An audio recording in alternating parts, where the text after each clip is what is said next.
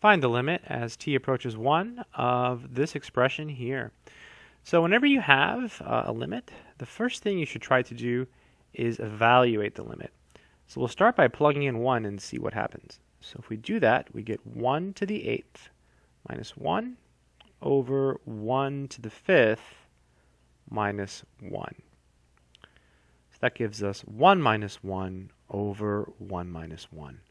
So that's just 0 over 0. So this is what's called an indeterminate form. So whenever you have an indeterminate form that's 0 over 0 or infinity over infinity, you can use something called L'Hopital's rule. So L'Hopital says we just take the derivative of each piece like this.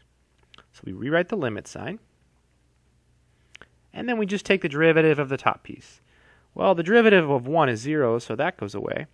And for the t to the 8th, we use the power rule. So we put the 8 in the front, then we subtract 1, so we get t to the 7.